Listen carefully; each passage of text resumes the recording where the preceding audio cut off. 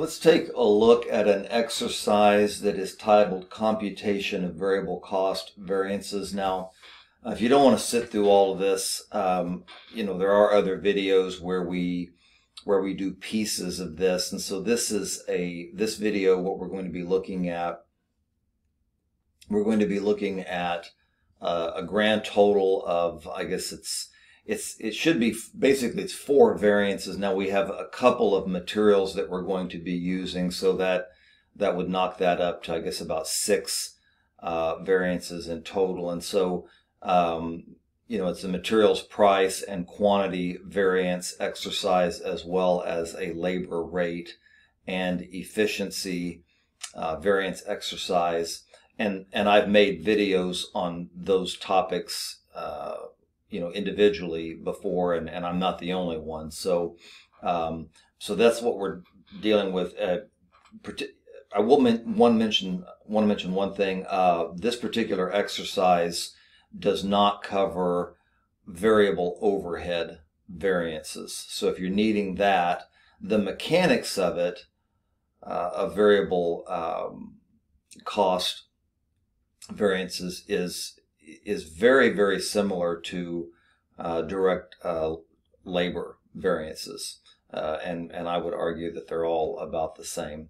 Uh, but anyway, uh, that is not explicitly covered in this video, just materials and labor. So we have some information for Tyler Company for the month of September. And notice that they have direct materials these are our standard amounts up here for materials. So we've got uh, a material A and B. And for A, we need four units. That is the standard of material, and the standard cost for that material is $2 a unit. And then for uh, material B, just one unit with a standard cost of $3. All right. And then for labor, we have our standard as three hours per unit at a rate of $8 per hour. So these are our standards. And then we have to be careful here that we make sure we always use the right numbers. We're going to go ahead and for, for materials, we want to make sure that we use the data under materials purchased. Um, and we, we're going to have to use that in tandem with uh, the materials used. And so we have to be very, very careful here that we use the right numbers. And so we'll look at how to, to do that. Okay. So let's see what they're wanting from us here. And then as we go through this, hopefully this will um, make a little more sense. I am going to run through this fairly quickly so that the video doesn't get too long. But I want to first look and see what they're wanting from us. So it looks like, again, we have two variances uh, for um, materials, uh, price and quantity variance, and then all we have to do is just the labor variance here. So we're going to fill in uh, one, two, three, four, five, six boxes with a dollar figure, and then we have to indicate whether each of these variances is uh, favorable or unfavorable. Notice that we do not have to calculate total variances for materials and labor. But once we have all of this information, we could absolutely do that and it wouldn't be uh, difficult at all. Okay, so let's go ahead and get started then. The first item I'm going to start with is material A and the materials price variance. Okay, now if you have a textbook on this, um, your textbooks will use three-way and four-way and, and two-way analysis, um, and they'll you know use a bunch of diagramming and all this kind of stuff, and and that's that's fine. Um, but that's not how I'm going to to do this. What I'm going to do is I'm going to take what I think is a more uh, oh common sense approach. So Remember, the first thing that we're looking at is a price variance for material A. So the first thing that I would do personally is I would come here and I'd say, okay, what is the price standard? And that's $2. And then I would say, okay, what was the actual price paid? And we'll find that under materials purchased. Well, that's 205. So what I want you to recognize here is before we calculate anything, we should immediately recognize that this is going to be an unfavorable variance because we paid more than the standard. Okay? Paid more than the standard. So um, the formula for materials price variance essentially becomes, um, you know, actual uh, price paid minus uh, standard price per unit times actual amount of materials used. So that would be $2.05 is our actual minus $2. We have this as a positive number here, which means our actual was more, so that's not good. And we just merely multiply that by the actual, not the standard, the actual amount of materials used. And now we have a figure of 187.50. Okay. We've got that. Okay, and now we're going to do the exact same thing for material B. So notice that the standard is $3 and the actual amount paid was $3.10.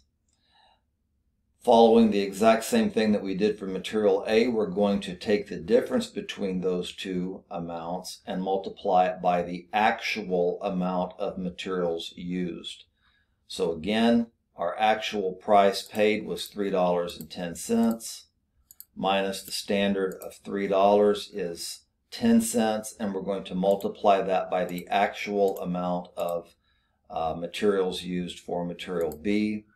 And we come up with $90.50 and and also I didn't do this for for material B but again we knew this was going to be an, an unfavorable variance because we paid more than the standard okay? So we could have actually done that uh, right off the bat as well, and then calculated the $90.50. Okay, so materials uh, quantity variance. So what we have to do here um, is we have to uh, figure out what the standard is. Okay, we know that we used 3,750 uh, let's see here, units of raw material A, and we know that we used 905 units of material B, but what was the standard, okay? And so what we have to do here is we have to take this for material A, we have to take this four units and we have to multiply it by this 900 here. So I'm going to do that just to show you what the answer is.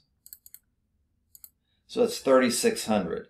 Okay, so what we would say is that if we made, if we had production output of 900 units, we would expect to use 3,600 pounds, or 3,600 units rather, of uh, material A. That's not what happened. So we're going to do something uh, not completely dissimilar. We're going to take this 3750, that is our actual, and we're going to subtract from that the standard, which was 3,600.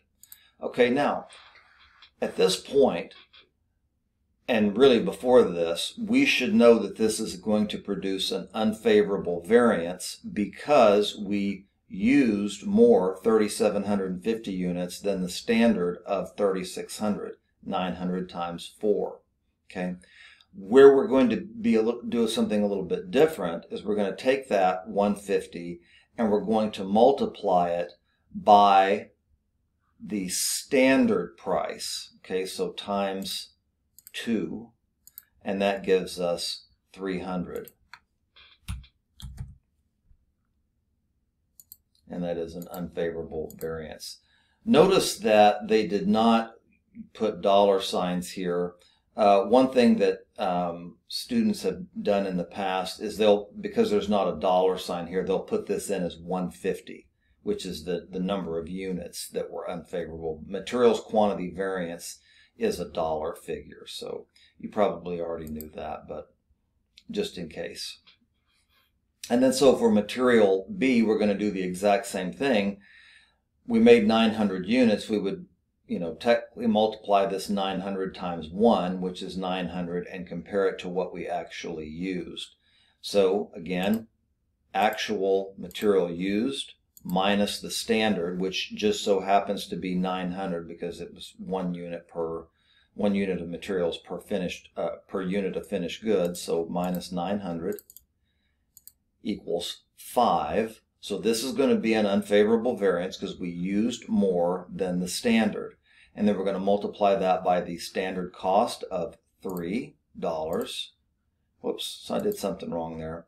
So it was 905 minus 900 equals 5 times the standard cost per unit of 3, and that is $15.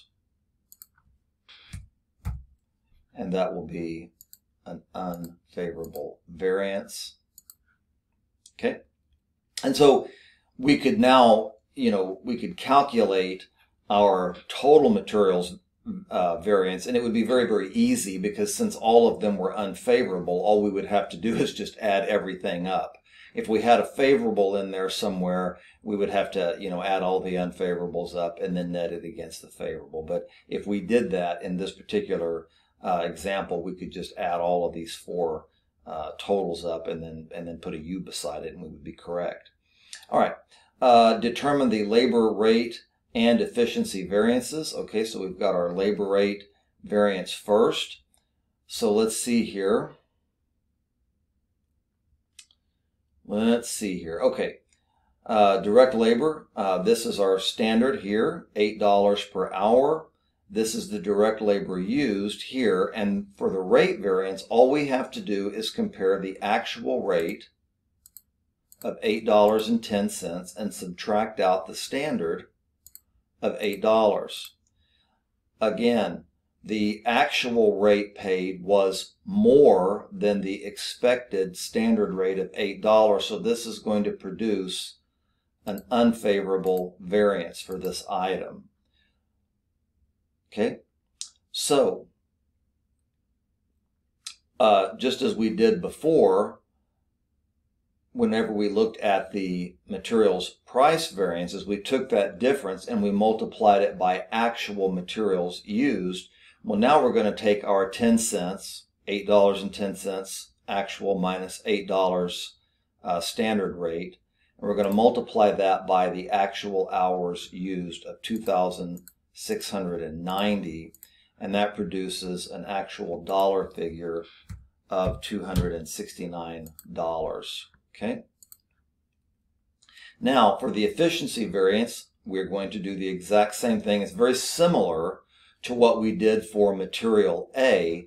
We took the uh, units of production and we say, okay, if I were to make 900 units, how many direct labor hours would I expect to use? Okay, so 900, and I would expect each one of those to take three hours. So times three is 2700. Okay. We actually use 2690. So 2690 minus the 2700 standard produces negative 10. Okay, so we used 2690. We expected uh, 2700. So this is going to be a favorable variance. Okay. And then I'm going to clear that out and put in 10 because I didn't like that negative number there. And then all I have to do is I want to take this 10, which is the number of hours that we were more efficient than what we expected, and I'm going to multiply it by the standard rate of $8 per hour, and I end up with 80. Okay. And so if, if I were then to if I wanted to then compute a total labor uh, variance, I would just take the 269. This is how I would do it. I would subtract the 80 from it and come up with 189. and it would be it would be a total uh, unfavorable variance of 189. We didn't have to do that. Okay, this video is getting a bit long, so I'm going to wrap it up. Thanks for watching.